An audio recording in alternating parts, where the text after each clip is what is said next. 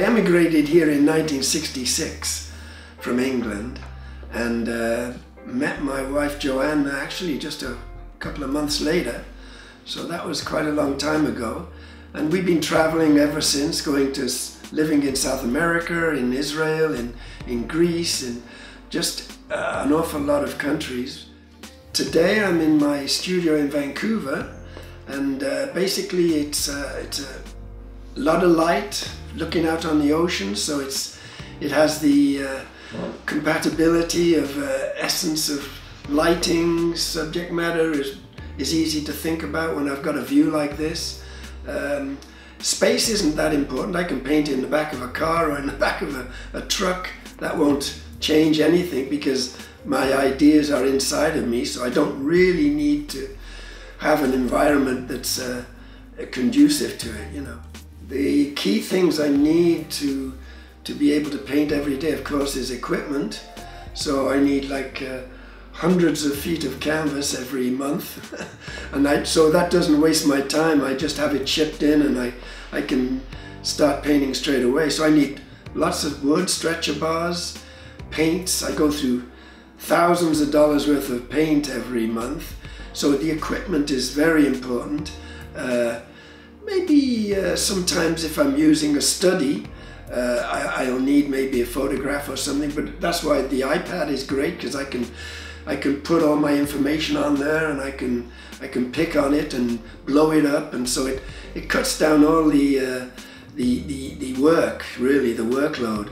And it's the same when you're actually you know dealing with a client who wants a painting. You know nowadays you know they just tell you what they want. I can they can send me a photograph of an idea I can paint it and send it out the next day or the next week it's so fast usually years ago it used to be you know, weeks of, of sending information backwards and forwards. Now, everything's, for, the facilities are amazing, you know, for speed, you know.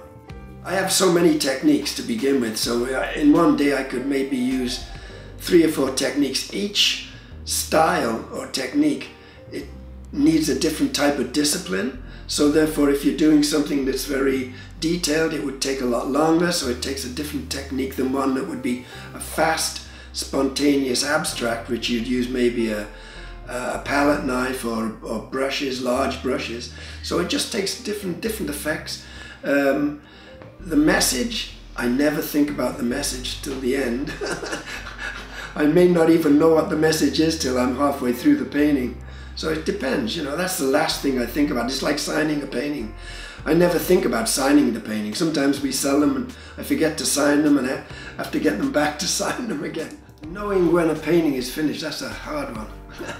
I, I don't think anybody really knows. It's uh, To me, I always figure it's best to stop before it's finished.